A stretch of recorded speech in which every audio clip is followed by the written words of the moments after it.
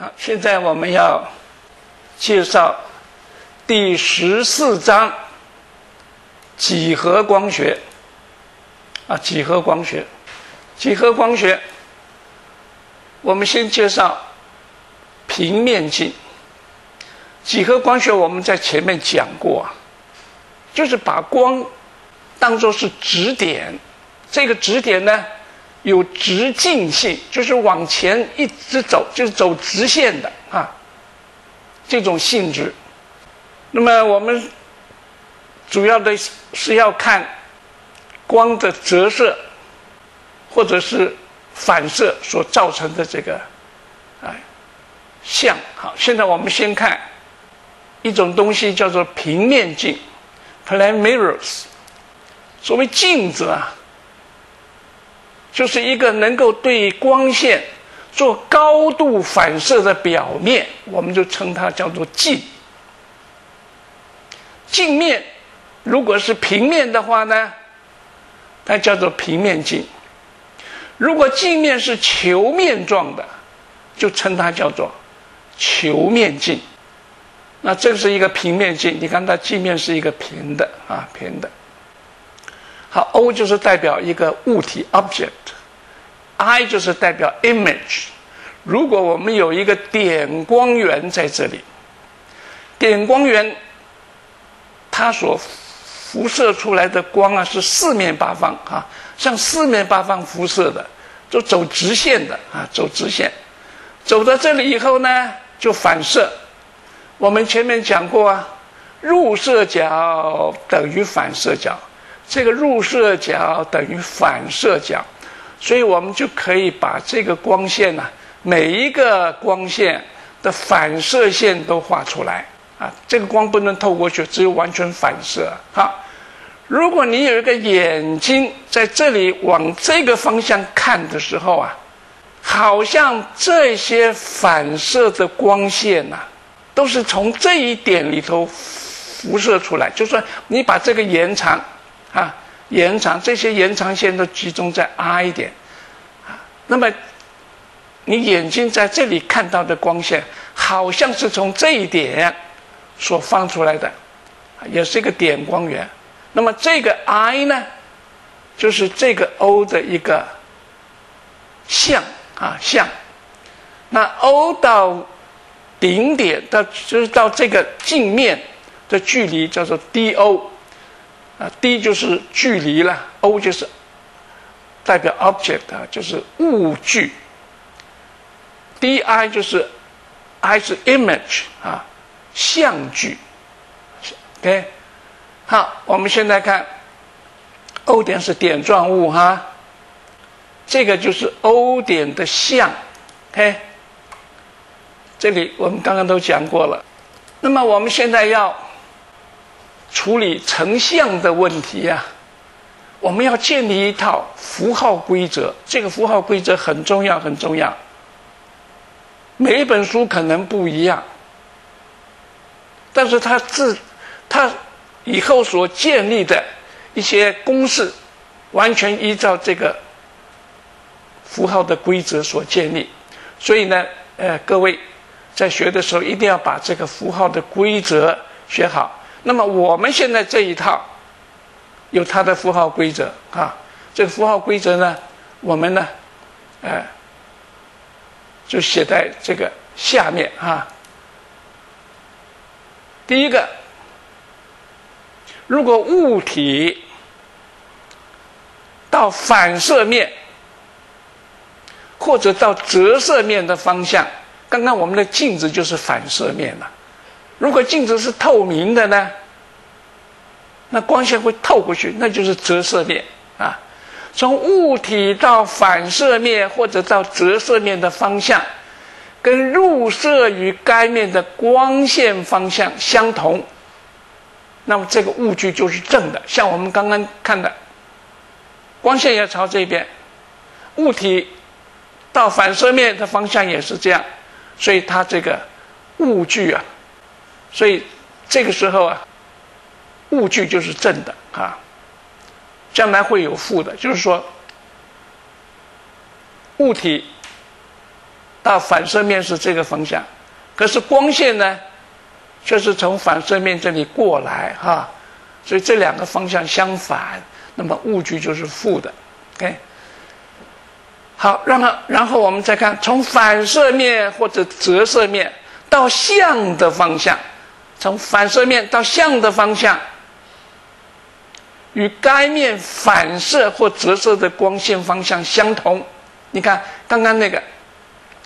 啊镜子在这里，物体在呃像在这里，镜子到反射面是这个方向，对不对？但是我们刚刚这个光线反射是这个方向啊，这个方向跟它相反，所以这个时候像这个相距就是正的啊，相反就是正的，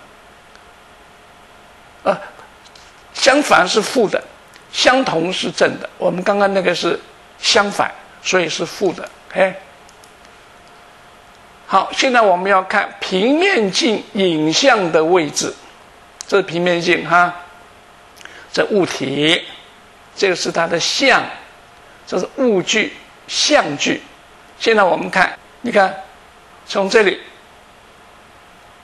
入射的光线方向，跟从这里到镜子的方向相同，所以这个 D O 就是正的。可是。它的反射是这样子的，这一条线这样反射，这一条线这样反射，这个方向跟从镜面到向的这个方向相反，所以 d i 是负的。OK，好，那么现在我们再从这个啊这个图，你看这个是反射反射线，这个入射角跟反射角相等。那这两个角也是西塔，好，我们就看这个 tangent 西塔，tangent 西塔是对边比邻边，这个也是西，这个也是西塔啊，所以它等于什么？h 被 do 的绝对值来除，就是这边的边长嘛，啊，那你写写成。物距的话，最好是加一个绝对值，因为这个物距跟相距可能是正，可能是负，但是这个边的边长一定是正，啊，那么也等于 h over d i 的绝对值，所以从这个式子我们就知道啊，有这样的关系，啊，d o 相的物距的绝对值等于相距的绝对值，这两个怎么会？怎么又写两遍呢？这个就表就是这个啊。然后呢，因为 d i 本身是负的，所以负负负得正啊，负负得说 d o 要等于负的 d i，或者是 d i 等于负的 d o 啊。那这个是相距，相距要等于物距的负值。好，那这个就是成像的这个一个公式哦。平面镜对点状物体成像的时候，像的位置跟物体位置的连线，连线与镜面垂直啊，这个连线一定跟地面垂直，并且物距与相距的绝对值相等啊，这是平面成像的时候啊，它的这个特点。OK。好，那么我们刚刚看的是点光源、点物体。好，那么如果这个物体有一定的大小，就是一定的长短，像这个 O O prime 就是代表物体，它的大小是 y。好，那么它成像在这里，那么像呢是 I I prime。那么这个高度。跟这个高度有什么关系呢？y prime 跟 y 有什么关系呢？好，那么我们就把 y prime 比上 y，称为这个物体的横向放大率啊，横向放大率，OK，不是纵向，就说它是跟这个轴垂直方向的放大率啊。那么我用我们用这个 m，m 就是 magnification 啊的简写来表示。你看，我们可以画这个啊，这个 O 点跟 O 点啊，入射反射延长到这里，入射反射反射线延长到这里，所以 I prime 在这里啊。那么这个点，这个点，它当然是它的像就是这一点啊。好，那么我们知道这两个是。啊我们从这个，等等，我们现在看这三角形，A O O prime A O O prime 跟三角形 I I prime A 啊，这个是什么相似三角形？因为我们前面已经说过，这个相等啊，啊，这边相等，啊，这个又又垂直的话啊，好，那么。这个就是一个，这个是相似三角形，那么这个也是一个相似三角形。好，那么我们就看 tangent theta，tangent theta 对边比斜边，对边是 y，就是 do 绝对值哈，这个是也等于 y prime，这个这个也是 theta 哈。y prime over i 绝对，di 绝对值。好，那么我们带到刚刚那个定义里面去，magnification 是 y prime over y，是这个绝对值的比。但是 di 本身是负的，这个是正的，所以必须负负得正，所以有一个负号。啊，但是这个一定是啊，要等于。因为这是负的，负的正嘛，这都是正嘛，所以它的 magnification 就是一正一。那就是说，平面镜所成的像，它的横向大小没有管它纵向哈，横向大小跟物体像的大小跟物体的大小一样大。正号呢，就是表示这是一个正立的，正立的啊。就是它的方向跟这个方向一样，正立的。OK，虚像。好，什么叫实像？实实在在的实哈。什么叫虚像呢？就是说，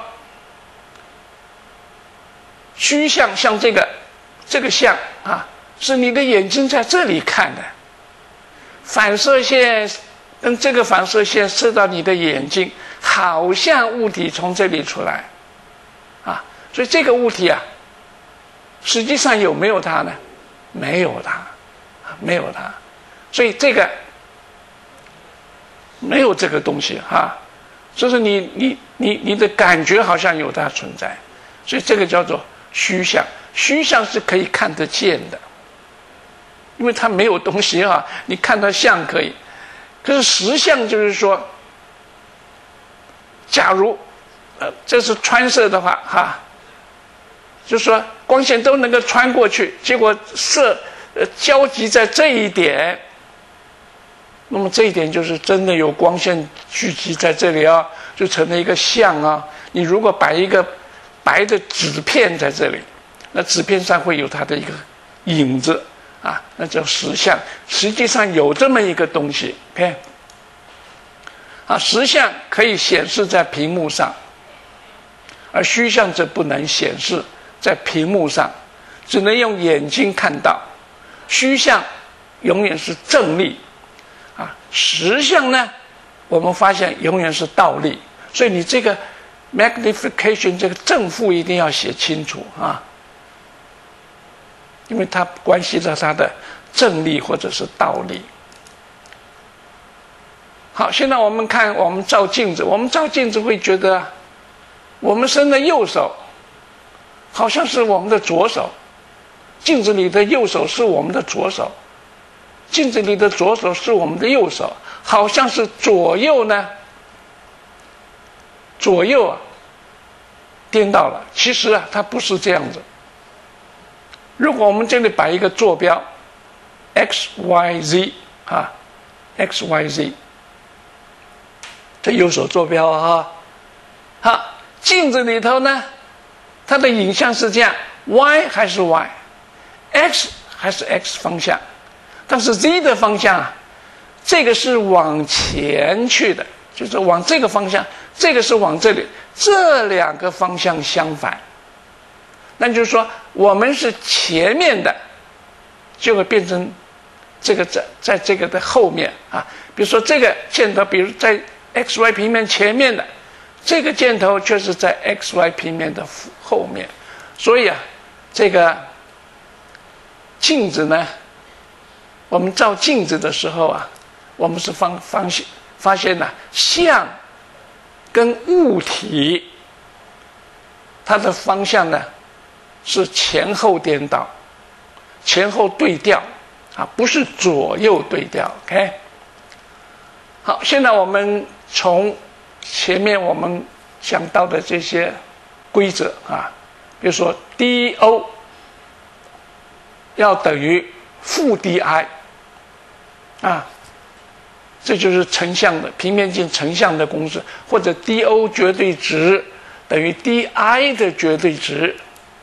我们来做一个题目啊，这个题目是说有一个人呐在这里，啊，鞋子是 F 点，用 F 点表示，他的头顶呢用 T 他哈来表示，他在照镜子。现在问这个镜子啊，B、C 镜子不是整面，整面镜子你当然可以看到你自己的整个像。但是这个镜子呢，如果只有部分的话，如果你只有从这里到这里这么这么大一点点，那你看不到整个整个的像啊，你可能只能看到看到腿的这个地方。那现在我们要问，他要把整个的像都看到的话，那么这个镜子啊，从 A 点到 C 点啊，这个。长度跟它的高度有什么关系？哎，好，人的身高就是 h 等于 t f 也等于 t prime f prime，这是成像嘛？哈，我们刚刚讲过嘛，这个像的大小都一样大嘛。B 点就是眼睛，我们的眼睛啊。距离地面的高度是 b，b 点跟 E 点眼睛的高度同高哈一跟 B 是同高。我们从这个图上面的几何关系啊，你看，这个人头顶有个光线射过去，光线啊，比如说这一条射过去到 B 点，然后反射回来到这里啊。这是头顶有一道光线到 B，然后这道光线反射回来是圆这个路，然后角啊角有有有光线射到 C，就说这个假设这个镜子的最底边呢，射到 C，然后这个反射角相等，正好也射到他的眼睛啊，射到眼睛。好，那么现在我们从这个关系来看，A、B 的关系呢？A 跟 B 呢？哎，不，A 点是在这里哦，不是这一点，这一点中这个终点哈，终点。好，A、B 正好是这个一半，二分之一 T。B、C 呢？B、C。它正好是什么？二分之一 f 一啊，是这个高度的一半，因为这个三角形跟这个三角形相等嘛，啊，相等，OK，好，那么所以这个高度。一半就是 B C，好，镜子最小的高度 h 呢？是 a 到 c，a 到 c，哈，a 到 c 是什么？a 到 c 是 b c 加 a b 加 a b 啊，那么 b c 我们前面讲过，二分之 f 一，a b 是二分之一 t 一 t 一，好，加起来。这就变成二分之一的 T_f，你看这个高度啊，加上 E_f 啊，E_f 这个高度正好是等于 T 一。好，那么所以这个就是 h，就是等于二分之 h。那也就是说，你这个镜子的高度啊。镜子的这长度必须是身长的一半才可以啊，身长的一半，OK。好，现在我们再看，刚刚是介绍球面镜啊，平面镜。现在我们介绍球面镜。球面镜就是说，这个镜子的表面呐，是一个球，是球面的一部分。球面镜呢，又可以分成凹面镜跟凸面镜、凸面镜两种。那么，我们首先介绍凹面镜 （concave mirrors）。啊，像这个凹进去的啊，这个这个就是后面有镀银的哈，这一层不不透光的，OK，这个就是镜面。好，那么。这是个球面呐，那 C 点呢，正好是这个球面的中心，这个叫曲率中心 （center of curvature） 啊，曲率中心。好，V 点呢，vertex 就是从 O 这个 O 点，或者从这个 C 点啊。O 点 C 点的连线延长到这个镜面，这个叫做顶点啊，凹面镜的顶点。好，直线 OCV，OCV 称为轴啊，称为轴。OK，好，从物体 O 到镜面的方向，跟这个。镜面反射的光向，这个方向，啊，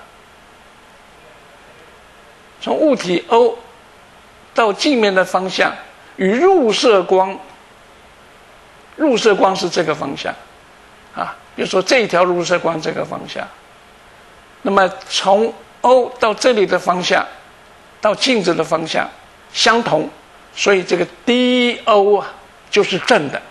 啊，凹面镜的 DO 呢是正的，然后我们再看这个这个入射入射入射，这是反射反射反射反射。那么我们看它的规则，从镜面到像的方向，镜面到像的方向，跟从镜面反射回来的光线的方向相同，因此 DI 也是正的啊。那么也就是说，凹面镜呢，相距跟物距啊都是正的。好，那么现在我们看这个曲率半径，曲率半径就是这个到这里啊，这个 r，r 啊也分正负哦。好，它的规则是怎么样呢？从反射面或者折射面。到曲率中心的方向，这个到曲率中心的方向，跟反射光或者是折射光，现在是反射光，相同，那么 r 就是正。如果相反的话呢，就是负啊。现在是相同，所以凹面镜它的曲率半径也是正的啊。凹面镜的曲率半径是正的，OK？你看它凹面镜。Do 也是正，dr 也是正，r 也是正啊。好，现在我们要看凹面镜成像的时候啊，它的像跟物体的关关系哈，物距的关系。你看，这是点光源啊，就跟一个点状的物体，入射线到这里来，那镜面到这个曲率半径画的一条线，就是它的 normal 啦，就是法线呐。因此，这个入射线的反射线就是这一条，这两个。这是入射角等于反射角，啊，等于反射角。好，那现在我们看这个 O、B、C 这个三角形，跟这个 I、B、C、I、B、C，就是这个三角形跟这个三角形啊。你看西塔角对这个三角形来说呢？是等于它的两个内角的和，贝塔呢是等于这两个角的和啊，因为这个是它的外角了啊。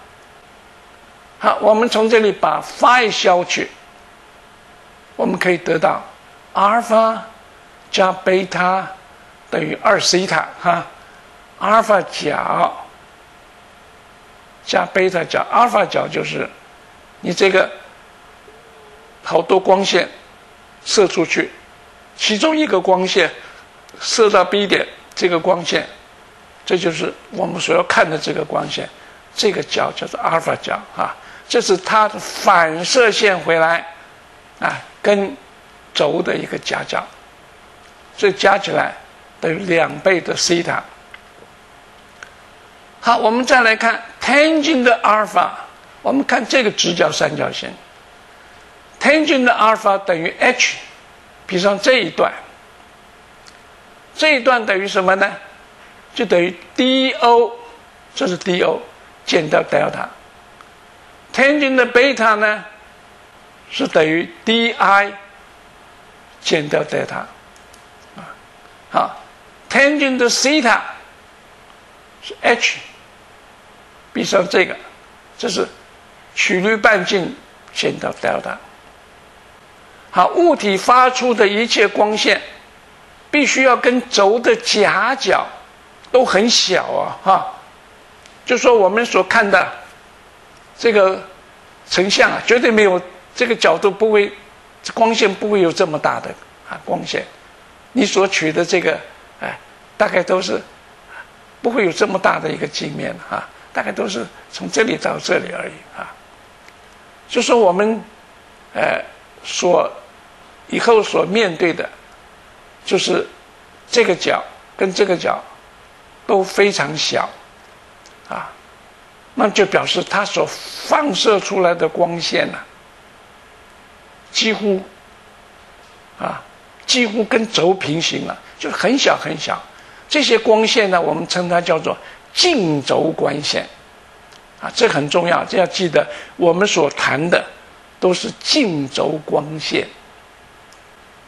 好，如果这个这个角太大的话呢，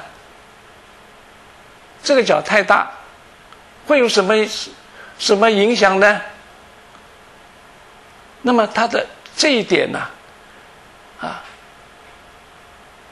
会你越来越大，这一点会朝镜面这个方向移过去，啊，移过去，OK。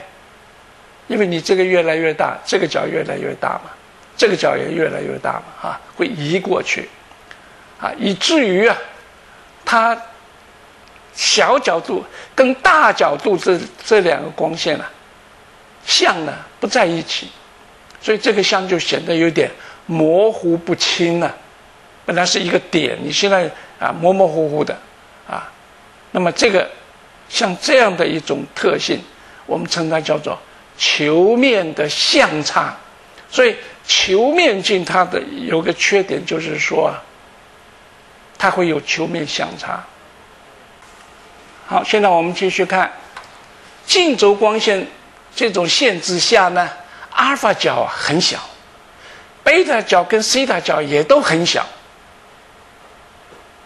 啊，那么这个 delta 就从这里画了个垂线，就说。从这里到顶点之间的距离 delta 也是小的，这个更小啊，那就是说这个这个比这个小得多，比这个也小得多，比 r 也小的很多。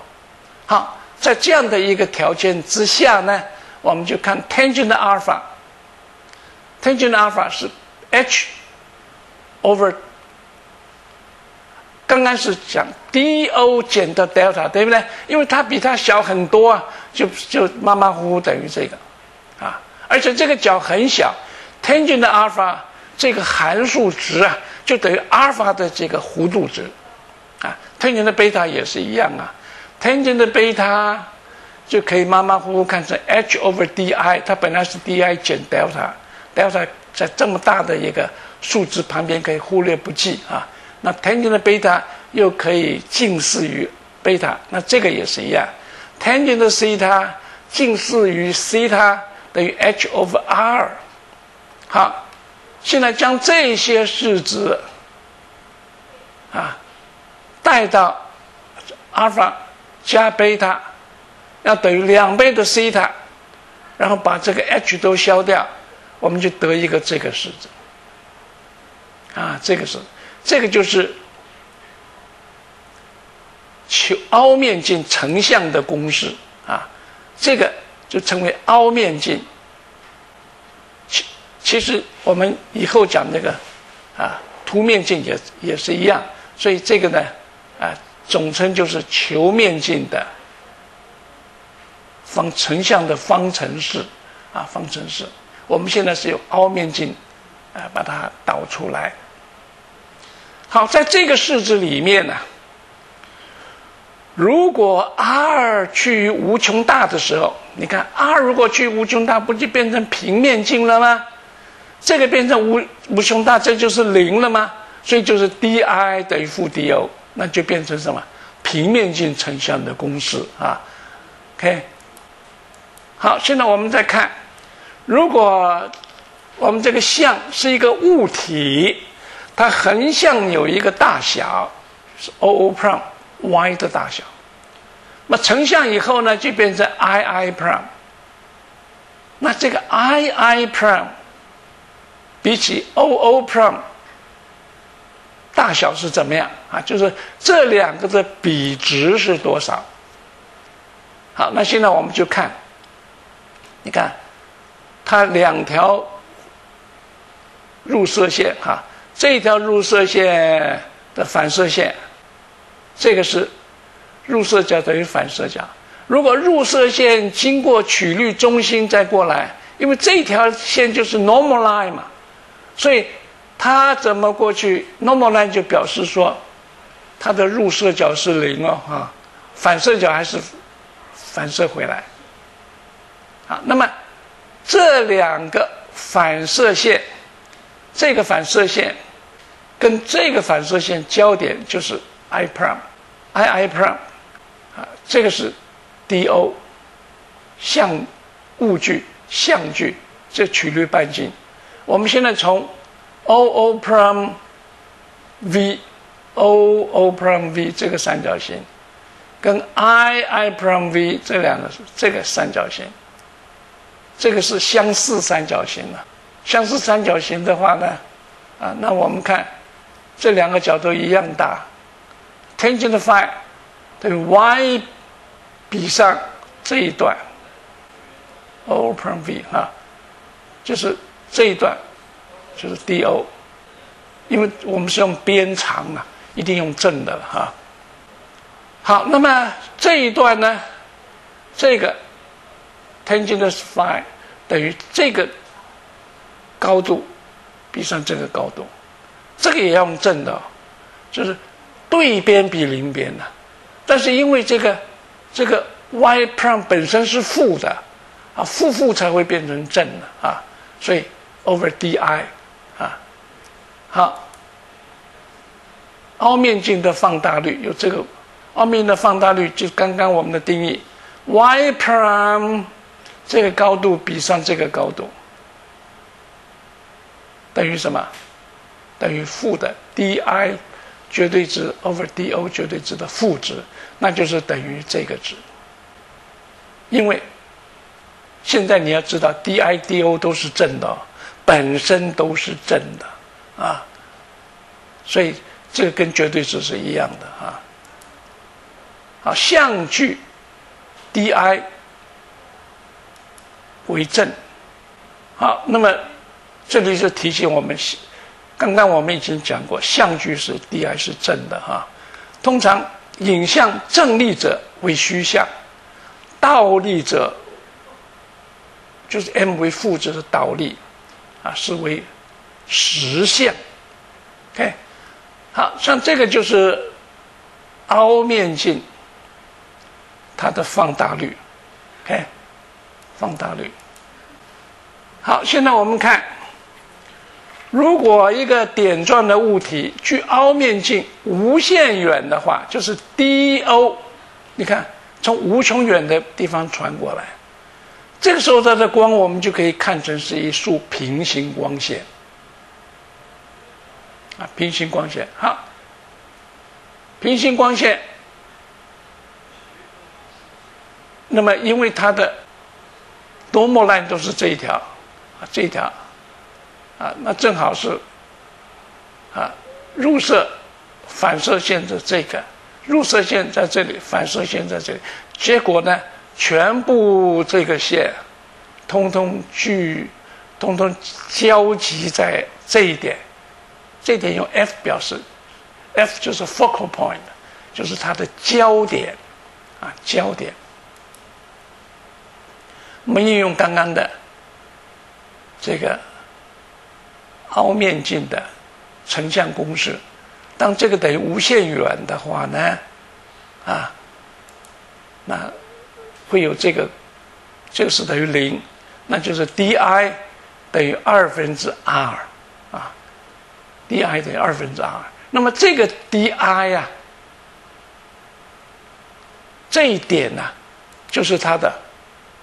焦点，啊，从无限远处的点状物体射到凹面镜平行光线，反射后聚于这个这个漏掉一个字，聚于 F 处的一点啊，F 处的一点，这一点称为凹面镜的焦点，F 就是焦点啊，focal point，哎，用 F 予以表示。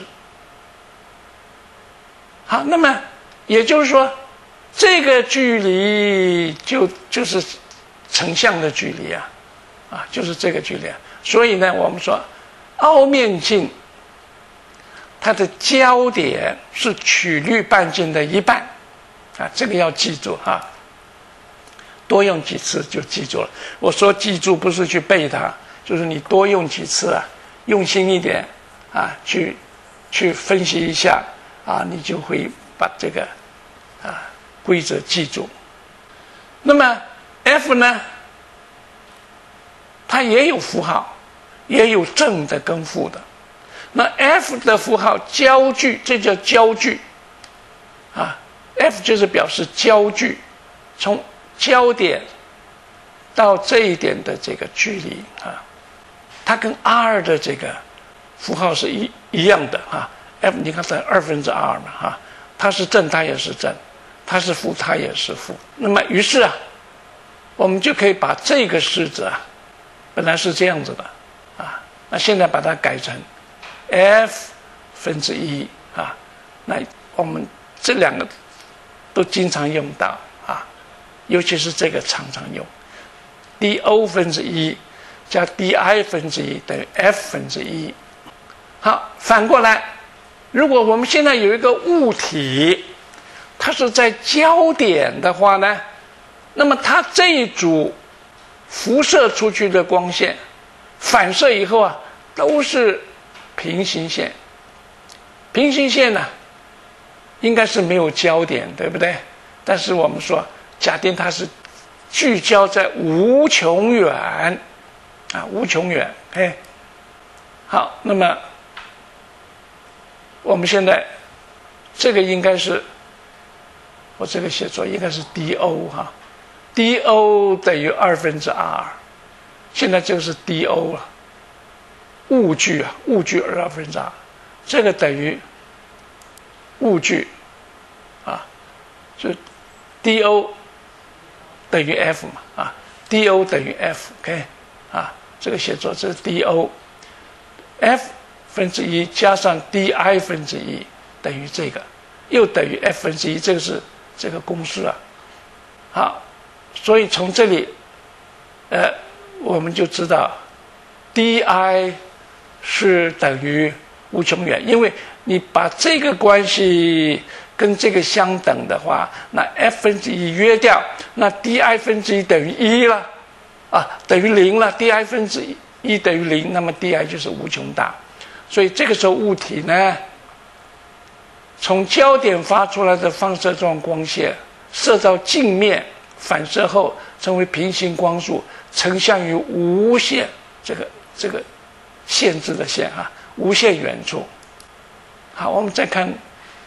这一题有一个电暖炉啊，电暖炉的原理是将灯热灯丝产生的红外线用凹面镜反射出来，那就是这个灯丝啊。理想的就是说，如果它是一个点状，我们就摆在这个凹面镜啊，这个整个的炉子是个凹面镜。摆在它的焦点上面啊，反射出来，就变成一束平行光啊。那这个红外线虽然我们的眼睛看不见了，但是它的规则跟我们可见光是一样的。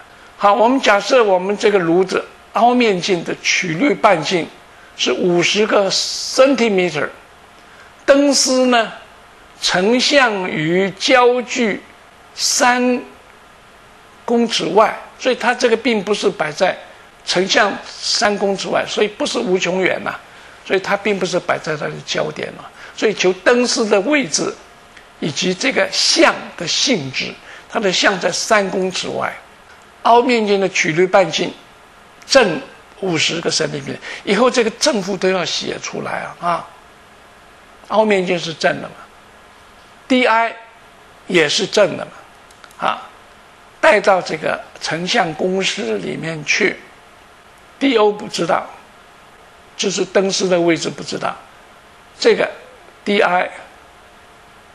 三米就三百公分，这 r 也是正的五十，这解出 do 等于二十七点三公分正的，正的就代表它在。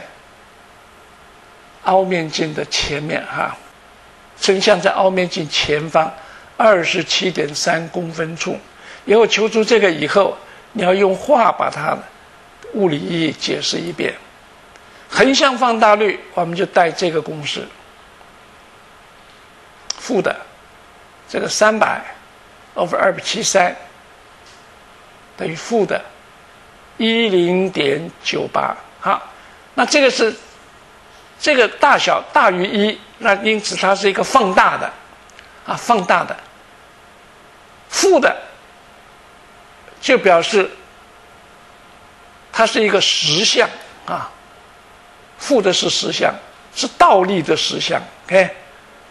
所以影像放大将近十一倍，啊，它是一个倒立的实像。